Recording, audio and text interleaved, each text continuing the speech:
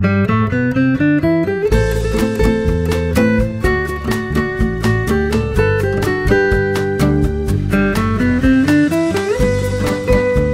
ich Pause habe, dann möchte ich ganz schnell ans Meer.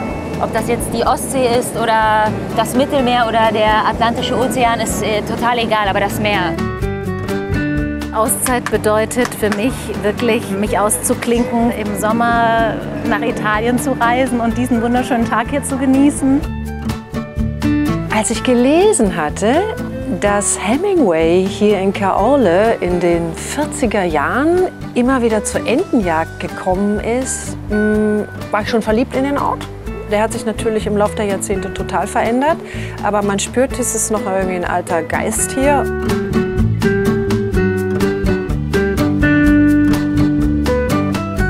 An Karolle gefällt mir, dass man um Ecken herumläuft und immer wieder überrascht ist. Vom Hotel zum Beispiel läuft man ein paar Stufen hoch und dann steht man vor diesem wunderschönen Kanal mit all diesen Booten. Das ist schon eine Reise wert hier. So privat hatten wir noch nie was miteinander zu tun und ich finde, wir sind ein super Team. Es sind ja, tolle Frauen, Spitzenteam. Ich ermittle sehr gerne, ja, ich gehe Sachen sehr gerne auf den Grund. Meine Tochter beschwert sich immer, weil ich wahnsinnig neugierig bin. Ich weiß nicht, ob man das auch als eine Form von Ermitteln bezeichnen kann, aber ich frage immer alle, was ich wissen will. Und es hat sich erneut bewiesen, ich liebe Schauspieler. So ist das nun mal.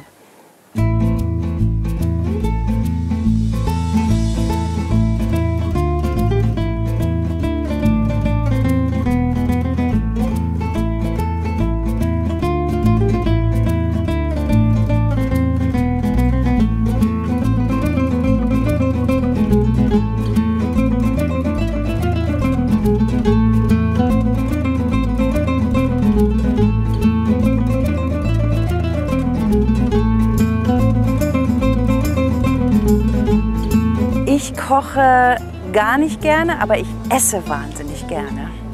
Das heißt, Freunde kochen oft für mich. Und mein allerbester Freund, mein Ehemann, kocht jeden Tag, wenn ich zu Hause bin. Und er kann wahnsinnig gut kochen. Das machen wir schon regelmäßig, dass Freunde zum Essen kommen. Und dann kocht mittlerweile eher mein Mann, weil er so raffiniert kocht. Ich koche sehr gerne und ich koche, glaube ich, noch viel lieber für Freunde als für mich selbst.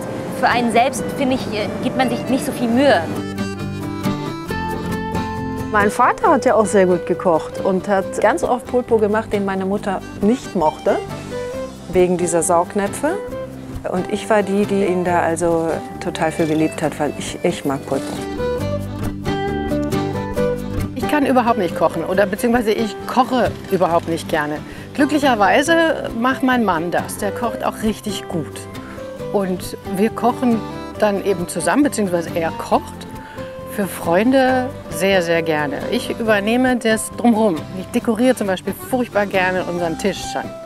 Ähm, jahreszeitlich oder thematisch oder sonst wie.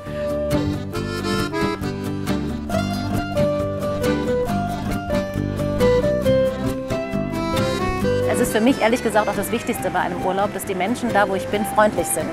Wenn dann das Ambiente noch so schön ist, was in Caorle ist, also unser Hotel, diese Promenade, wo wir unser wunderbares Abendessen genießen durften, das ist schon, also auf jeden Fall, da muss man mal hin. Ich bin definitiv ein absoluter Genussmensch. Essen, trinken, schlafen. Schlafen ist für mich ganz großer Genuss. Genuss hängt für mich unbedingt mit Zeit haben zusammen. Also die, die Muße zu haben, etwas in einem Moment wirklich bewusst wahrnehmen und erleben zu können. Genuss bedeutet für mich, Dinge wahrzunehmen ohne den Kopf, also mit den Augen, vielleicht sogar noch zuerst mit der Nase.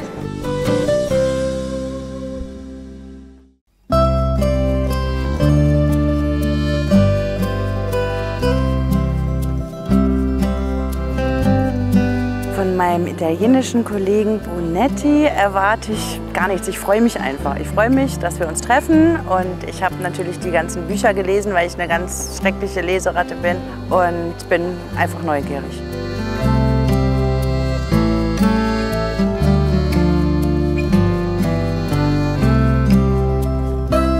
Venedig hat sich ergeben durch das Film, durch die Arbeit.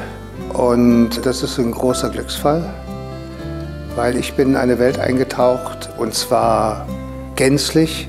Und da es mit dem Beruf verbunden war, habe ich auch mit Dingen zu tun gehabt, die selbst manchmal Venezianer nicht zu Gesicht bekommen. Es ist keine Kulisse, es ist tatsächlich. Ich kannte ihn nur aus dem Fernsehen, den Kommissario Brunetti. Und ich bin sehr dankbar für dieses Treffen und das Kennenlernen. Und die wohnen in diesen wunderbaren alten Häusern. Natürlich beneidenswert. Ich war gespannt auf die Kolleginnen und den Kollegen. Ich bin gern mit Kollegen zusammen und wir uns unterhalten über unsere Erfahrungen, die wir machen. Ein sehr eleganter Mann. Also mit ihm kann man Italien durchaus verbinden. Genuss ist Wein genießen, auch Tabak genießen. Genuss ist das, wonach wir immer streben, das uns antreibt. Es war eine sehr schöne Begegnung. Ich muss sagen, dass sowieso die Begegnung mit allen anderen wahnsinnig schön und inspirierend ist. Wir spielen alle Figuren, die den gleichen Job haben und sich darüber auszutauschen, wie die Arbeit ist und wo die Leidenschaften liegen. Das war eine sehr große Freude.